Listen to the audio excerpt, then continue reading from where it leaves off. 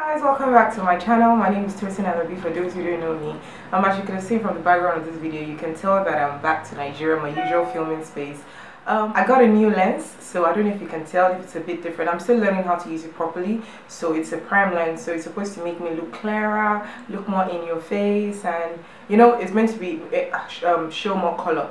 So let me know if you can see any difference or I just, I don't know, just let me know what you think. Um, today I'm going to be talking about um, branding, just a continuation from my previous video. If you haven't watched that video, there should be a link somewhere above this video. Um, I talked about branding 101 for entrepreneurs, like basics.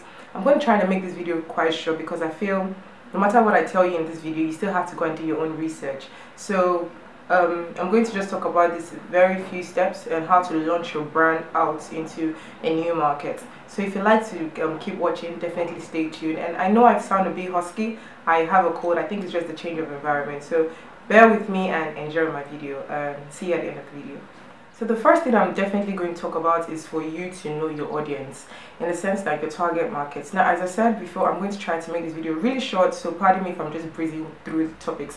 If you'd like to know more and you'd like some more advice about this topic, my email address should be floating on the screen so we can talk personally and, and also my website. Um, anyway, so the first thing I'm, you're going to look at is your target market. That's going to help you to know how you're going to launch your business into the, how would I put it, the business world and all that.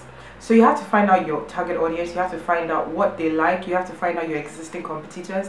Like for instance, if you're selling, um, let me say handbags, you have to look at what other brands are doing something similar to what you're doing like what other like um, handbag companies are there how did they reach out to their target audience are they like people that buy handbags are they really social media friendly people are they people that you know they just shop. Are they just people that you have to tell them about referrals that oh these girls um, for instance in africa in as much as social media is taking over referrals word of mouth is the best way because people buy things that you know i've used. That's why blog reviews really work here. That's why um when celebrities you know rave about a product that's why people everyone goes there. Even if you're a dentist and you're like oh this person got my teeth fixed everyone will go there because obviously everyone likes to know that what you're selling has been tried and tested you have to find out about your target audience. Find out how what appeals to them. Is your target audience between the ages 16 and 35 are these people always online? Are these people offline consumers? Or is your target audience older people? Would they rather you know go through newspapers the regular um how would i put it? Print media. So maybe billboards. You have to just look at those things first of all. So that's the first thing you need to consider when trying to launch out your brand the second point we're going to talk about obviously which should have probably going to be the first is your marketing budget. You're a new business you've already probably projected your sales for the year. In as much as you don't have your consumers yet or you you know your consumers but it is not translated into sales like you want to know your marketing budget. Like how much am i willing to invest into this business to yield the kind of profit I want. And also this kind of you could the kind of marketing budget you invest into your business is basically as a result of you knowing the worth of your business. For instance, if I'm selling pap, like I'm using pap. Pap is like custard. If I'm selling custard, I'm not going to put like a million naira budget into selling custard because I'm not sure if, uh, for instance, I'm not sure if my business can generate that much the first month. So that's what you may want to do. So you have to look at your business. You have to look at the worth of your business, your projected sales, a percentage of that should go into how much money you're going to use into um, your marketing budget. For instance, there's a company that um, launched into Nigeria early early last year. It's called Yudala. It's a how would I put it? It's like um, an online platform for selling electronics. They, in fact, the advertisements were everywhere. It was on the bridge. It was on YouTube. It was on Instagram. It was on Facebook. It was on um, TV, they had like banners everywhere. In fact, they bought a whole floor. You knew that this, that company, they wanted to put like what in your face because I mean they're selling gadgets and electronics. They're already existing um, competitors like you know them game, the Shoprite, Samsung. So why would I want to go to a new website to buy? So they started using celebrities. A lot of celebrities on their, on their billboard. That would have cost them so so much because I'm sure the celebrities will probably not charge anything less than a million naira plus for that. But they invested in that. I'm not sure if it's paying off for that because I don't know any I'm the average shopper and I've never gone on their website to buy something, but I'm sure they probably have their reasons and they did their research properly. So you might want to consider that as well. So um, know your marketing budget. That will enable you know the right platform. Like if you, for instance, you make clothes and you're like, oh, you're a fashion retailer. Obviously, everyone has where they buy clothes from. There's ASOS, there's um, Konga, there's the usual just normal walking into a boutique you have to think about like okay how much am i willing to spend how much like if you know you don't even have cash like to invest how many outfits am i willing to send to people to review? How many bloggers am i going to spend it for? Am i going to spend a hundred thousand naira every three months on my business marketing budget? Now one thing i want you to consider as well is I, I say this all the time for you to get value you have to invest value. In the sense that no one is going to like don't have a cheapskate mentality. Don't have a oh please just say you know my friends. Can you help me wear this or because your auntie some celeb. Like be willing to give something to get something. So don't just be very um um get get get. Make sure that you're willing to um, invest into your marketing but you're willing to spend money like when you're brainstorming how much you need to launch your new business make sure you put that. It's really important. Like marketing like good marketing would always translate into sales and consumer loyalty.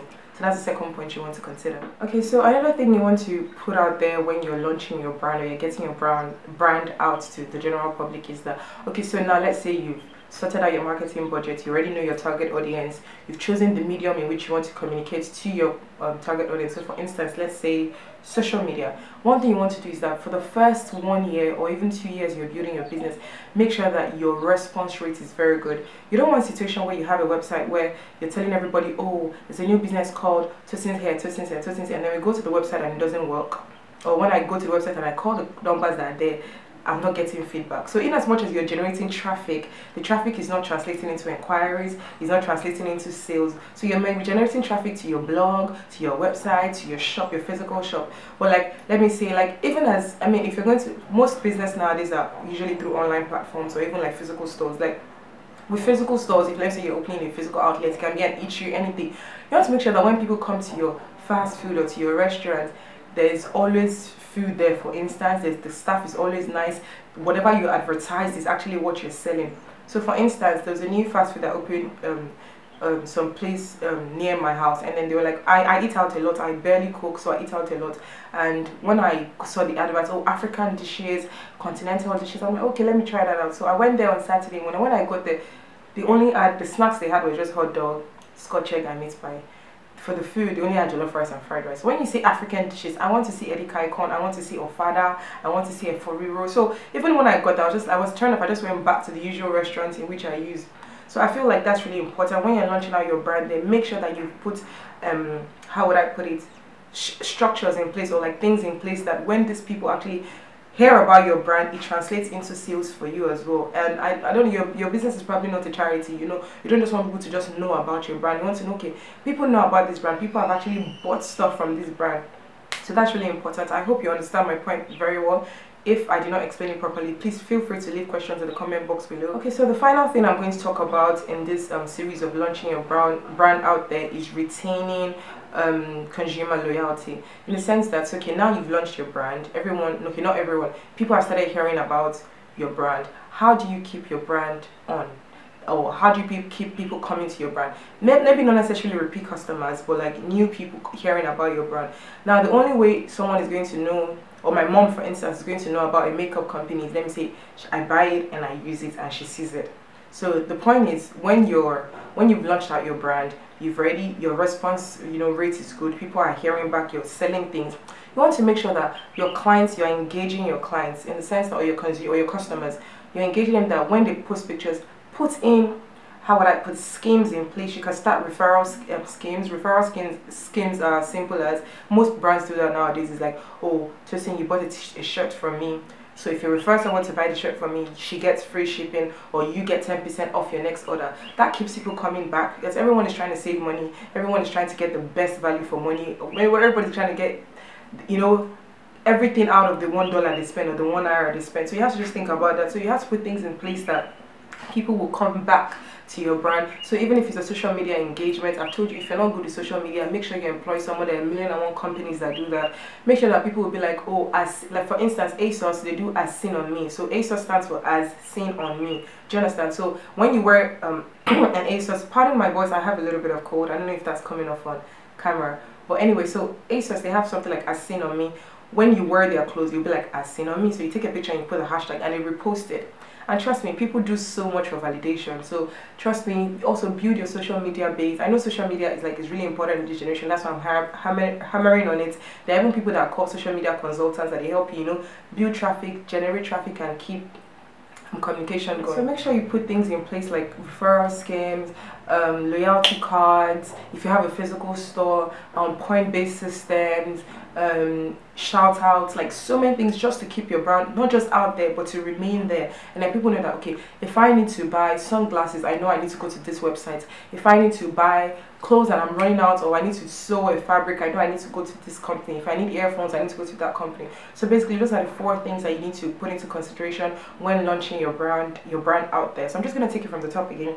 The first thing I said is understanding your target audience and your consumer base and know what existing um what existing methods of reaching out your your competitors are doing. The second thing i said is your marketing budget making sure that you, you're willing to invest money into your business. The third thing i talked about is um, making sure that you put parastatals in place and things in place that when people actually come and find out about your brand it translates into sales for you. The last thing obviously i'm talking about is to keep them coming back. That's referral schemes and you know keep your customers loyal. So basically those are the four four things that i'm going to talk about concerning your brand. This topic is a huge topic i encourage you if you're an entrepreneur to get books podcasts you know make sure you keep learning.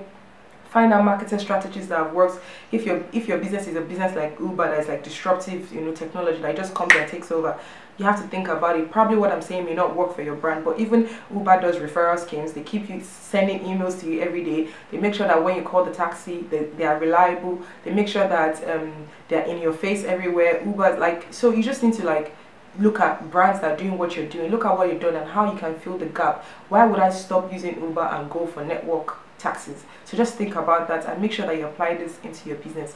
Anyway that's all guys. Thank you so much for watching my video. I hope you really enjoyed this video. I'm rushing out now as you can tell. Um, leave a comment in the comment box below. As i said previously if you have any questions i'll be sure to answer. I love you so much and i wish you all the best in your business. Make sure you like you share you subscribe and you tell your friend about us and i love this channel. Bye